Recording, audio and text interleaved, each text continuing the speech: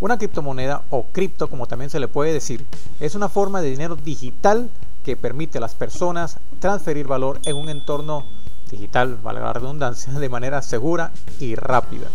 Es decir, las criptomonedas son una nueva forma de dinero y en mi opinión el dinero del futuro presente hoy día. Ahora bien, puede que te preguntes ahora que te he dicho que las criptos son una nueva forma de dinero, ¿en qué se diferencian de este tipo de plataformas como PayPal, página de cuenta bancaria, aplicaciones eh, bancarias que tengas instaladas en tu teléfono inteligente?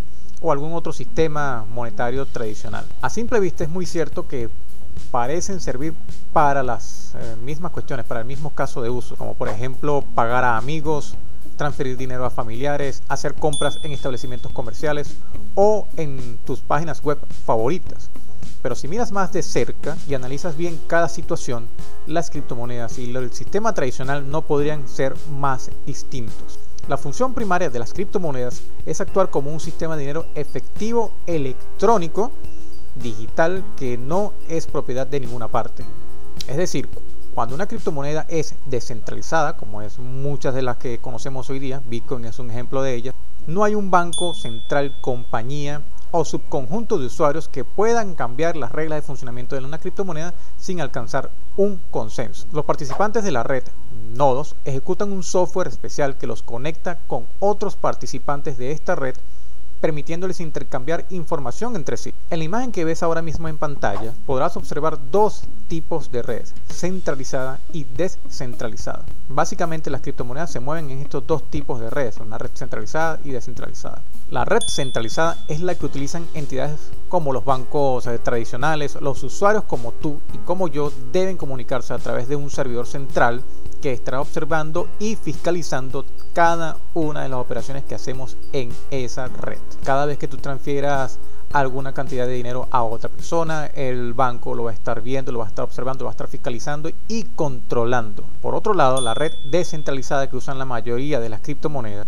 no hay una jerarquía real, no hay alguien encima de otro. Los nodos están interconectados a un mismo nivel y se garantiza que nadie tenga control absoluto de la red. Como dije antes, la descentralización de las redes que se utilizan en la mayoría de las criptomonedas hacen que sea altamente resistente a la desconexión o a la censura. Para inutilizar una red centralizada solamente necesitas eh, atacar el servidor principal, desestabilizarlo en ese momento.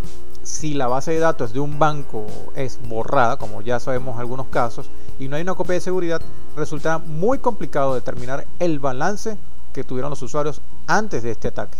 En el caso de las criptomonedas, los nodos mantienen una copia de las bases de datos de todo lo que está sucediendo en esa red. Todo el mundo actúa y en la práctica como su propio servidor. Si cada uno tiene la misma información. Un nodo individual podría quedar offline, fuera de línea en algún momento.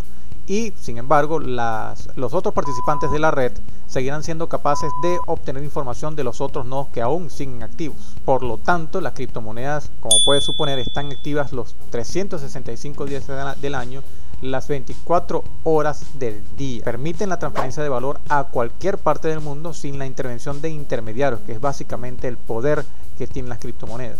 Y cualquiera con una conexión a Internet podrá transferir fondos sin ningún problema. Te he dicho la palabra criptomoneda por aquí, criptomoneda por allá, pero realmente ¿qué es una criptomoneda? El término criptomoneda es un acrónimo de criptografía y moneda, por supuesto. Ello se debe simplemente a que las criptomonedas hacen un uso extensivo, intenso de técnicas criptográficas para proteger las transacciones entre los usuarios y toda la información es encriptada, transferencias, direcciones, montos, inclusive en algunas redes, para eh, proteger a las partes involucradas. Ahora bien, ¿quién inventó las criptomonedas? Te estás preguntando quién realmente las hizo. Desde hace muchos años ha habido toda una serie de intentos de lograr esquemas de dinero digital, pero la primera persona en lograrlo, así como una criptomoneda como la conocemos hoy día, fue el, el intento que se realizó exitosamente, por supuesto,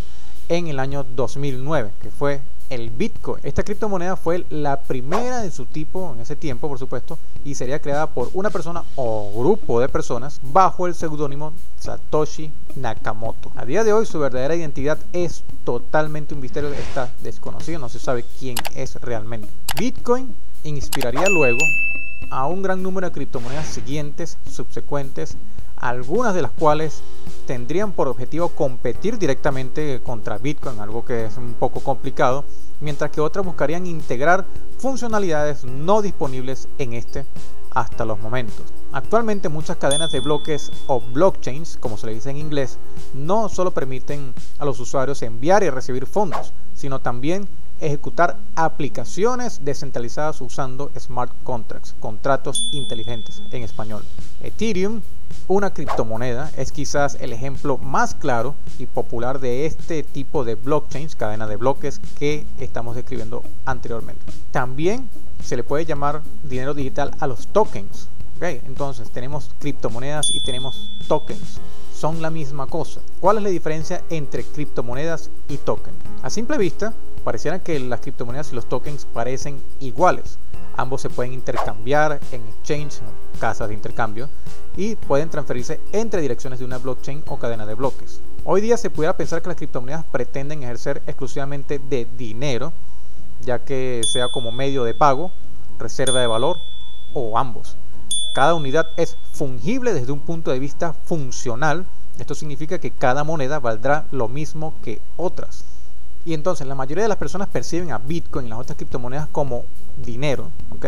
Realmente es así. Aunque más tarde las cadenas de bloques o las blockchains propondrían para hacer cosas un poco más interesantes.